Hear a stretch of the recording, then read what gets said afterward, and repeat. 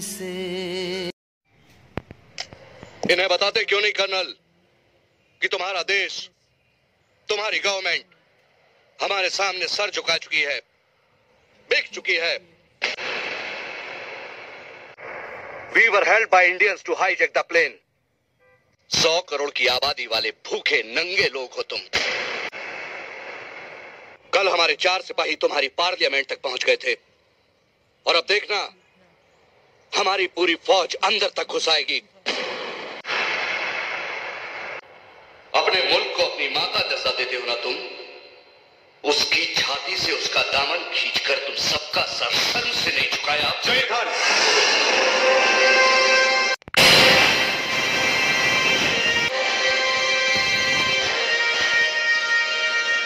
भीख में मिले देश और दान में मिले हथियारों के दम पर इतना भौंकना ठीक नहीं। कायरों की तरह मंदिरों और मस्जिदों में घुसकर औरतों और बच्चों को मारते हो।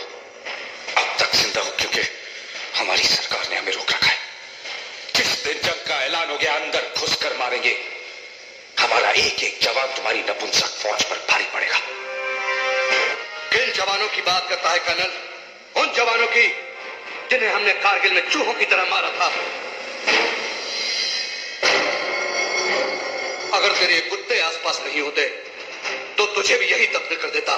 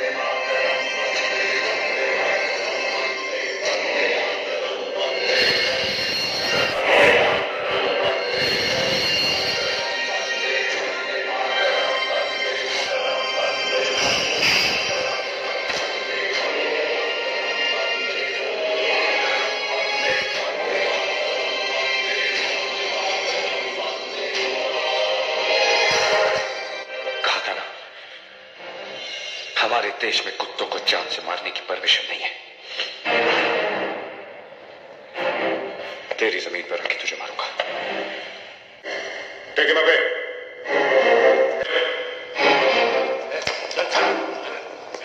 मातरम वंदे मातरम वंदे मातरम वंदे मातरम वंदे मातरम।